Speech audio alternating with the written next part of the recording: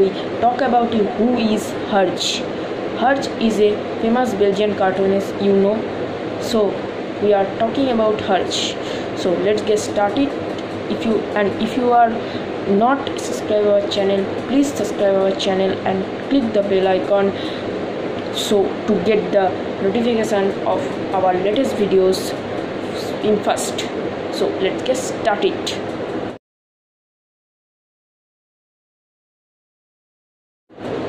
Georges Remi, known by Hergé, is a Belgian cartoonist and he is best known for creating the adventures of Tintin. He, it is a 24 series of albums comics which are considered the most famous European comics in 20th century.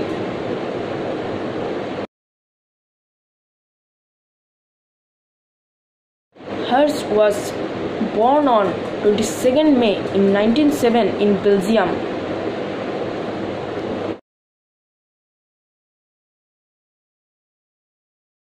Hergé was formed in Etterbeek, which is located in Belgium.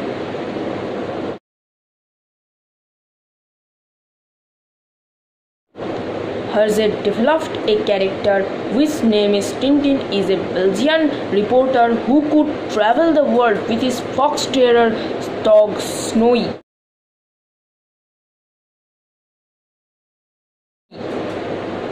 The famous Belgian cartoonist Hergé was died on 3rd May in 1983.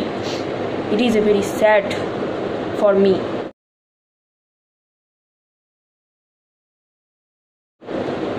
Hergé was died at Villiers Saint Lambert, which is located in Belgium.